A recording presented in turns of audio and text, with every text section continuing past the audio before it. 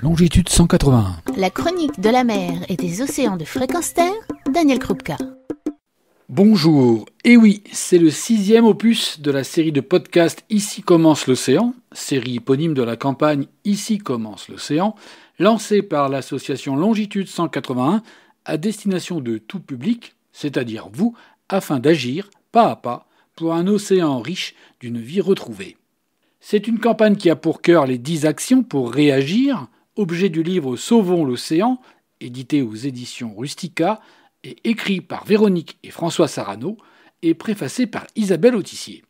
Ici commence l'océan, c'est une proposition de réponse aux menaces qui pèsent sur l'océan. Après la réconciliation avec l'océan, la revue des solutions aux pollutions domestiques quotidiennes, des déchets, de nos consommations d'usage ou nos consommations de poissons, je fais ici référence aux cinq épisodes précédents de cette série de chroniques, je ne vous propose ni plus ni moins que de découvrir et transmettre. Oui, ici commence l'océan dans la participation active à sa préservation et à la transmission, à tous, de la découverte et de la préservation de ce territoire sauvage qu'est l'océan. Pour cela, pas besoin d'études d'océanographie ou de biologie marine. Non, il suffit de regarder, d'observer, de s'émerveiller, d'aimer. Et on protège alors ce que l'on aime. Soyez curieux. Découvrez l'océan, ou redécouvrez-le, en bord de mer ou en mer. Examinez les laisses de mer, les dépôts oubliés par la mer. Découvrez la vie qui grouille près du rivage. Osez le sentier sous-marin pour découvrir ce qui se cache sous l'eau. Avec un accompagnateur, apprenez non seulement la faune et la flore, mais aussi le comportement adéquat, celui qui vous permettra d'approcher au plus près avec respect. Découvrez, visitez les rares endroits que sont les réserves sous-marines, elles vous permettront de voir la diversité réelle, car non exploitée, de la vie sauvage marine.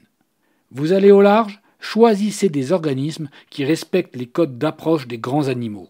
La recherche qui aboutit à une rencontre, c'est un fabuleux cadeau dont vous vous souviendrez. Croiser un poulpe, voir un mérou, apercevoir la silhouette d'un cétacé, c'est magique. N'en faites pas pour autant un tourisme de consommation d'animaux à voir comme on visite des monuments.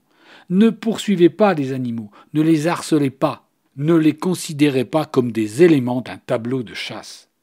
Et puis, apportez votre contribution par l'initiation aux sciences participatives. De nombreuses associations ont besoin de vos observations pour suivre l'évolution des populations marines, que ce soit en bord de mer ou en plongée ou en palmasque et tuba. Renseignez-vous. Les sciences participatives sont à la portée de tous et ne nécessitent aucun savoir académique. Faites des photos, partagez-les ainsi que vos observations. Votre témoignage servira à évaluer les changements. Expérimentez en vous reconnectant au vivant est bien plus profitable que le savoir intellectuel. Nos sens en éveil permettent d'appréhender le réel et aussi de le partager. Et à ce propos, faites-en profiter vos proches, et pour ce qui est des enfants, apprenez-leur à apprécier l'océan, le connaître. Ce sont les premiers concernés pour le préserver dès demain. Demandez des classes de mer ou organisez le plaisir d'un moment intime près de l'océan un mois par an de vécu ou de ressenti transforme chacun en ambassadeur et défenseur du milieu marin. Et les enfants, eux aussi, à leur tour, protégeront ce qu'ils aiment.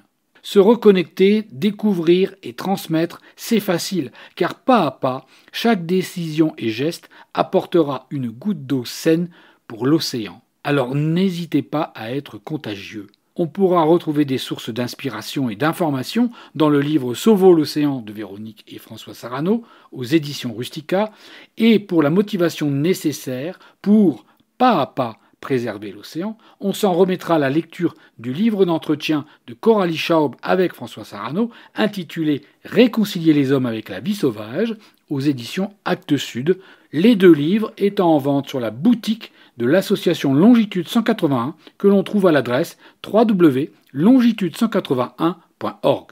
De très beaux cadeaux à faire, d'excellentes lectures qui convaincront chacun de la nécessité de se réconcilier avec l'océan. Car c'est ici, dans la reconnexion à l'océan et dans nos têtes, que commence l'océan. Retrouvez et podcastez cette chronique sur notre site fréquence